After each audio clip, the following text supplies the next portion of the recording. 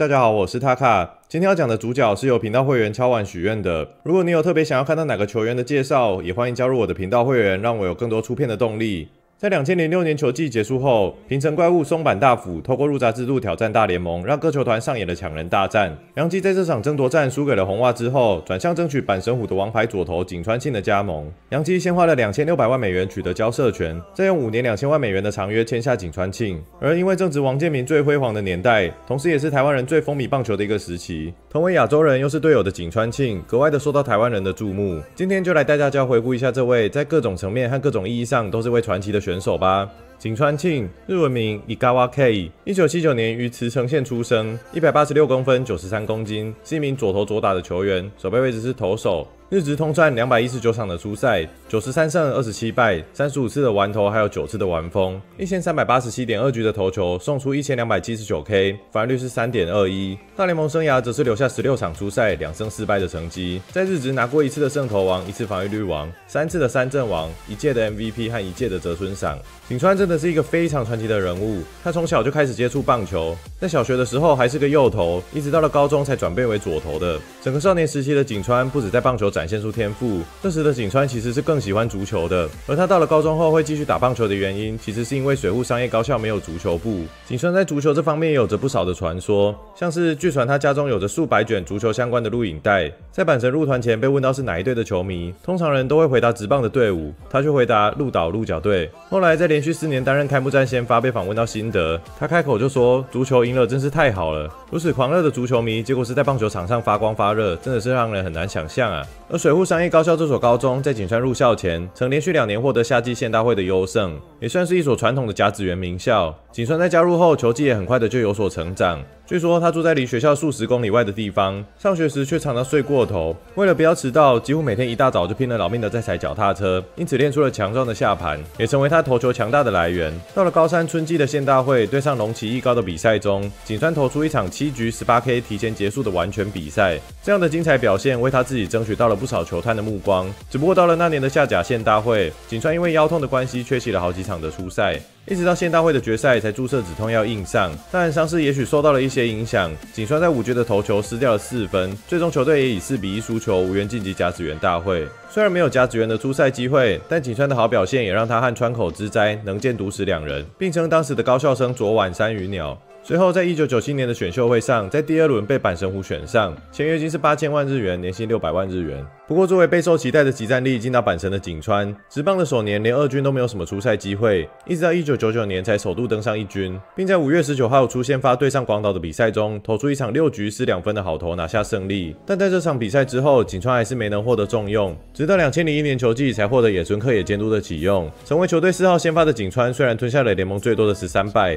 但他在二十八场的出赛也投出了十六场的优质先发，而且防御率只有二点六七，只落后给中日的野口茂树。在野村克的书中有提到，对于井川的个性，他感到相当的不可思议，是他执教以来第一次碰到的类型。简单来说，井川当时就是个孤僻又不出门的宅男。整队集体用餐的时候，他总是自己一个人。这种情况到了美国还是一个样，大概就是这个样子。而且跟他说话都用沉默回答，不知道到底有没有听进去。不过就算如此，野村还是能打听到井川喜欢玩飞镖，并透过这个兴趣进而改善井川的控球。只能说野村的执教风格虽然颇具争议，但在发掘人才和培育这块真的是令人相当佩服。は而井川也因为这年的好表现，年薪从九百万日元一口气飙涨到三千八百万日元。到了两千零二年球季，因为野村和阪神的一连串恩怨，他趁着太太沙之代夫人的事件请辞监督，阪神也因此迎来了新野新一的执教，企图摆脱连续四年垫底的悲剧。说个题外话，井川虽然是个超级宅男，但他也能为了想要在实况野球上出现而疯狂练球。结果因为太认真练习，连野村监督请辞的事，竟然还是透过邻居告诉他才知道这消息的。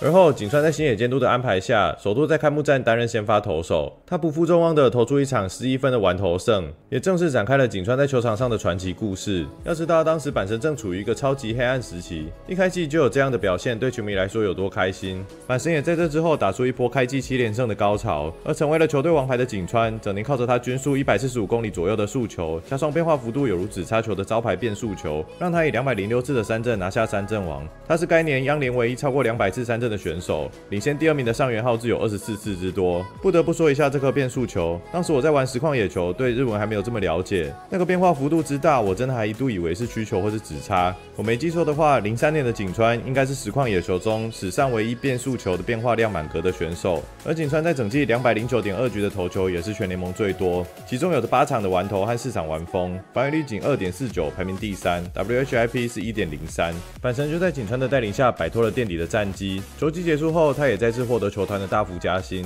年薪来到了一亿日元。隔年两千零三年球季，井川依旧维持着王牌身手，并在阪神打者的全面进化以及两部秀回旅美归国的影响下，井川成为央联继上元浩志之后单季二十胜的投手，并且阪神在暌违了十八年之后，再度夺下了央联的优胜。到了日本一大赛上的第一战，井川对上了同为二十胜的大投手齐藤和四，两队的炸药打线和代哈打线都打下了三分，两人中场都无关胜败。到了第四战，井川再度先发，主投六点二局送出了九 K，但也失掉了四分。在九局下，靠着金本支线的再见全垒打才逃过败投。看来当时在全胜屠杀央联时期的井川，对上大荣鹰的可怕打线还是有些苦手呢。而阪神和大荣在鏖战了七场之后，很可惜的由大荣拿下了日本一。不过井川在球季结束后，以胜投王、防御率王以及胜率王的头衔。拿下了该年的年度 MVP 以及泽村赏的殊荣，同时他也和捕手石野宏辉，也就是现在改名石野耀大的阪神监督，一同获颁了最优秀投捕搭档赏。有趣的是，石野曾经对井川的评论是最不肯听人家讲话的投手，可能是和野村监督一样，不知道他到底有没有在听的感受吧。不过也看到在去年井川的访问中，他也曾提到，当时他对石野的配球可以说是百分百的信任，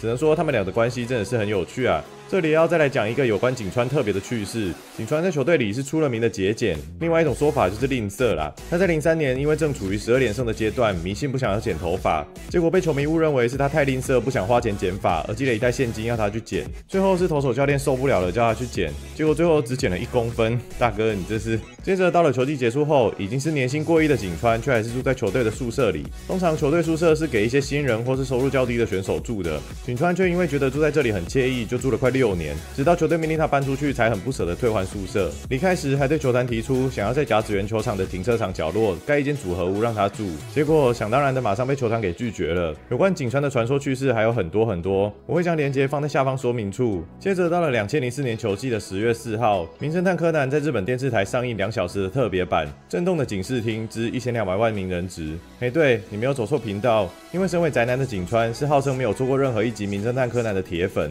而这天晚上正好轮到井川的先发出赛，他也因为这样没有办法观赏到柯南的特别版，于是井川只好化悲愤为力量。可以看到他在这场每一球的投球都是充满了愤怒，有着特别用力的感觉。结果就这样，他成为了日职史上第七十一位投出五万打比赛的投手，真不愧是传说之男啊！不过在这年井川的成绩相较去年有些落差，他整季吞下了十一败，防御率也上涨到三点七三，这使得球团在球季结束后的谈约进行了三次都没有结果，还一度搞到井川被迫要自费春训，就因为球团只给井川加薪了一千万日元，这样的加薪幅度让井川感到相当不满。毕竟虽说是成绩下滑，但怎么说也是吃下了全联盟最多投球局数，还拿下了三阵王。这其中的原因其实还有着井川向球团提出希望透过入闸制度前往挑战大联盟，这也对井川的谈薪有着不小的影响。毕竟想要从传统球队出去没有这么容易啊。于是最终年薪还是定在了两亿两千万。不过井川也在这之后每年都向球团提出入闸的要求。两千零五年球季，井川依旧是阪神阵中的王牌投手，他也投出了个人生涯的第一千局投球，一共拿下十三胜九败，防御率三点八六的成绩。而球队也在下柳刚和藤川球儿的崛起下，再次拿下了央联的优胜。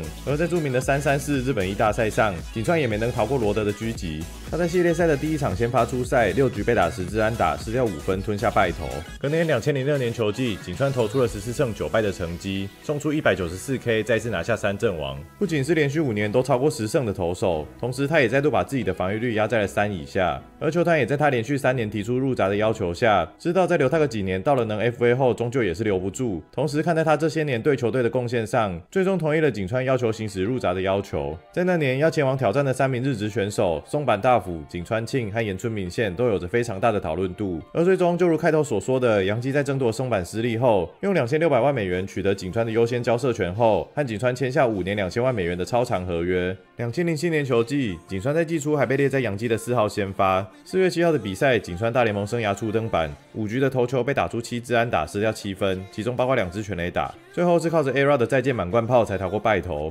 虽然在第二次的先发，井川投出了一场六局失两分的优质先发，拿下首胜，但之后的比赛真的是有一场没一场的。他可以对光芒四点一局被炸七分，但也可以对红袜队投出六局无失分。接着在五月一度被下放到三 A 调整。大联盟的第一年，井川最终留下十四场出赛，两胜三败，防御率六点二五的成绩。原本在日职该有的载资力可以说是消失殆尽。不仅拿手的变速球在大联盟频频挨轰，原本就不是很出色的控球能力，为了应付大联盟更高阶的打者也更惨了。在季中就不断传出杨基该承认这是笔失败的投资了。这时，先前在日本的抢人大战时，对井川有着高度兴趣的教士队，其实曾有向杨基试探想要交易井川的可能性。杨基也一度将井川放进让渡名单，却在最后时刻又收回。原因是杨基当时认为，最初取得井川的交涉权就已经花了我两千六百万美金。你教士现在还想要来捡现成的，怎么说好歹也要帮出一半吧。最后也因为这个原因谈判破裂，杨基也因此失去摆脱这个赔钱合约的机会。it. 在隔年两千零八年球季，井川虽然还是获邀参加了春训，球团也有意将他安排以中继的角色出赛。结果在开幕前对上大学生的练习赛中，井川还被挤出了满贯全垒打。也因为这样，井川开机要从小联盟出发。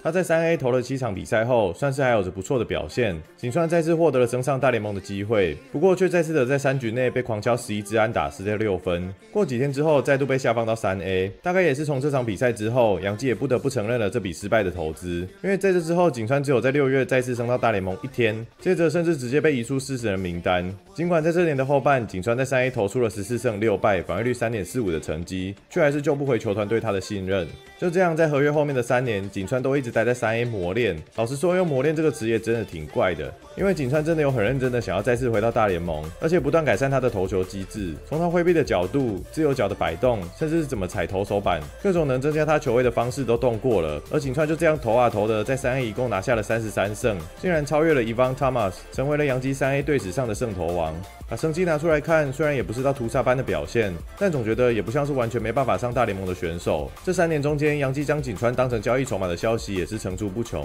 甚至有传出杨基想要将他送回日本，但最后被井川给拒绝了。最终在五年合约结束后，杨基承认签下井川是一场灾难，他们失败了。而井川也自认在美国能力好的选手真的很多，那些能力是他怎么努力都达不到的。他在美国的这段期间也学到了很多东西，并不是一无所获。二零一二年球季，时任欧力士监督的冈田张部，同时也是井川在阪神时期的恩师，在他的引荐下，将井川纳入自己的麾下。他在暌违六年后再次回到日本职棒，并在该年的七月十一号投出一场八局十一分的好投，拿下回归后的首胜。不过在这之后，却因为腰部和腹部的伤势，使得井川在投球上也受到了一些影响。以往动辄一四五上下的直球均数，只剩下一三七左右，整体的被打击率也来到偏高的两成八五，防御率也是偏高的四点六五，整年只拿下了两胜七败的成绩。球季结束后，井川进行了游离软骨的去除手术，一直到隔年五月底才回到一军名单。虽然他在这年缴出三胜三败，防御率二点五九，疑似回春的成绩，不过后面的几年也没有获得太多的出赛机会，只能当个先发轮值空缺时的垫档先发。到了二零一五年球季，甚至没有一军的出赛记录，